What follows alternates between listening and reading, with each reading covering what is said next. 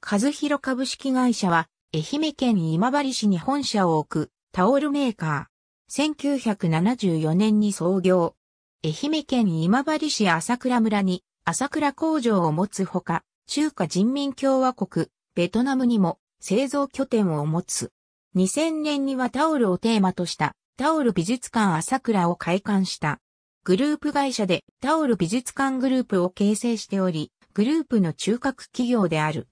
タオル美術館グループで製造、卸売、小売を手掛けており、SPA 体制を標榜している。グループ会社のタオル美術館では、タオル専門店、タオル美術館を全国に展開している。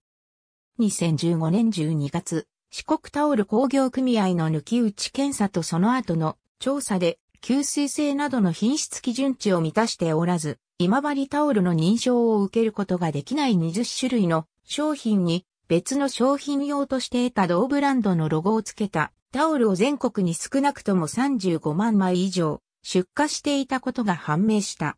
会社側は担当者が多忙を理由に検査に出していなかったと釈明し、該当商品を回収した。